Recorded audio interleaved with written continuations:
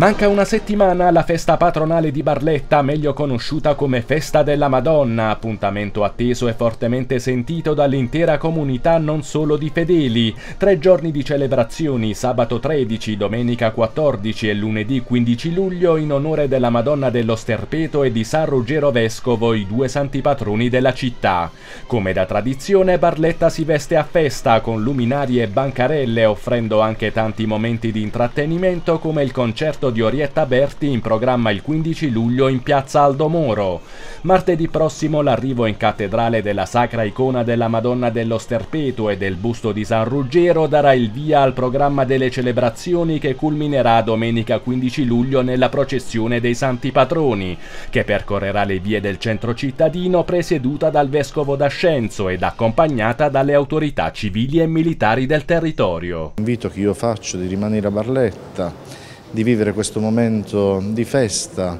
in onore eh, dei nostri santi patroni, della Beata Vergine Maria, di San Ruggero, ma anche eh, far riflettere nelle nostre vite, nelle nostre persone, nella, nel nostro mo mondo eh, la gioia, la pace che loro ci ispirano. Anche quest'anno profuso il massimo impegno da parte del Comitato Feste Patronali per ravvivare una tradizione antica e dal forte valore identitario. Abbiamo preparato una festa sobria ma sicuramente bella. Abbiamo ripetuto e ripeteremo con più eh, voglio dire, folclorismo, eh, più più bellezza, diciamo, le luminarie musicali che per la prima volta l'anno scorso abbiamo installato in corso Vittorio Emanuele che accompagneranno i nostri santi patroni dopo l'ultima sosta vicino Palazzo di Città fin verso via Nazareth che creano un momento di emozione di